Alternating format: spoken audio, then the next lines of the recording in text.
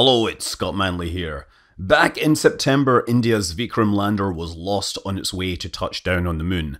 And despite independent radio telescope data suggesting that it collided with the moon at about 300 kilometers per hour, there were many who still held out hope, especially those who felt that national pride was at stake.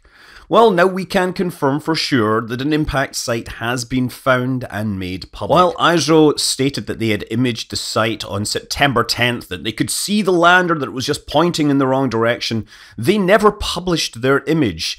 Instead, the images we have are coming from the NASA's Lunar Reconnaissance Orbiter. We have a before and after, and you can see this comparison here as the after has a whole bunch of, well, spots all over it.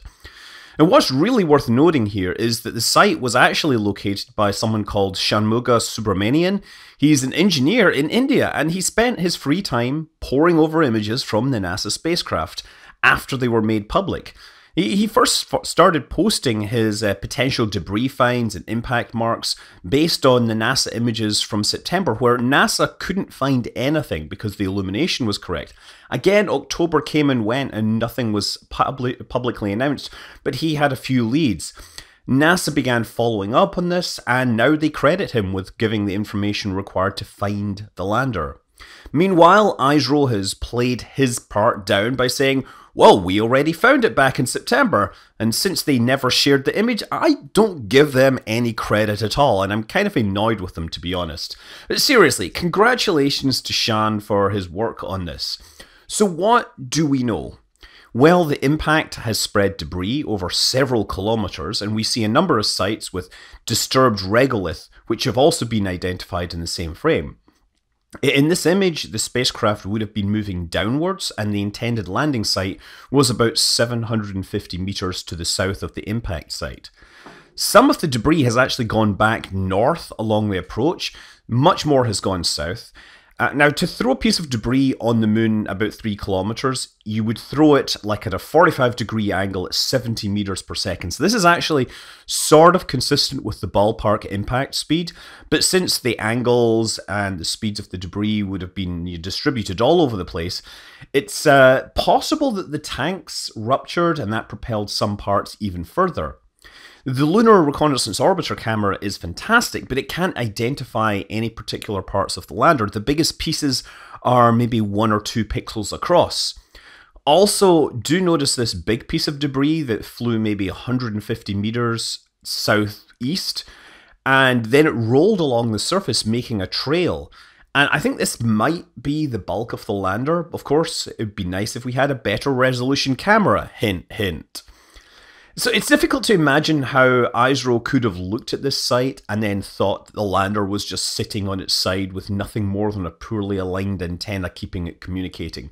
But yeah, they haven't shared their images. So they have actually shared an image from their camera, and that's great. They've also shared some fantastic uh, data from their synthetic synthetic aperture radar system, which uh, allows them to look at for uh, you know particulates and other structure. And there's an infrared spectrometer, I believe, which is also giving out new data. As for an explanation of why the Vikram lander crashed, well, they have apparently completed a report and an analysis, and it is blamed on a software error. As of right now, the report hasn't been made available, or at least I haven't been able to find it, but there is a quote uh, from a politician which uh, says summarizes the events as the first phase of descent was performed nominally from an altitude of 30 kilometers to 7.4 kilometers above the lunar surface. The velocity was reduced from 1683 meters per second to 146 meters per second. During the second phase of descent, the reduction in velocity was more than the designed value. Due to the deviation, the initial conditions at the start of the fine braking phase were beyond the design parameters. As a result, Vikram hard landed within 500 meters of the designated landing site. So, what does what does this actually tell us? Well, okay, it doesn't tell us very much, but uh, so between the coarse braking phase and the fine braking phase, there's a sort of transition phase as it goes from a horizontal thrust, you know, re- reducing lateral velocity, to essentially a vertical transition. This is, I think, it's a coasting phase. And during this phase, I think that's when the vehicle was seen to flip upside down. And so the question of what parameters were beyond those expected for the fine braking phase. It could be the attitude, or it could be the engine simply didn't throttle down, and therefore during the transition it slowed down too much. So the fine braking, it was perhaps given start and end conditions that it couldn't accommodate with the engine throttle it had, and therefore led it to sort of uh, take an attitude that didn't work and ultimately crash into the surface of the moon.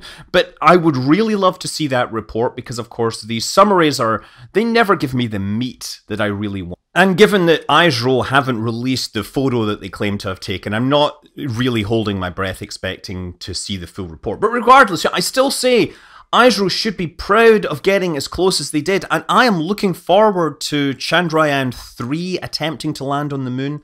Uh, they apparently have funded it. It is going to be a lander only since the uh, Chandrayaan 2 orbiter is going is doing great work.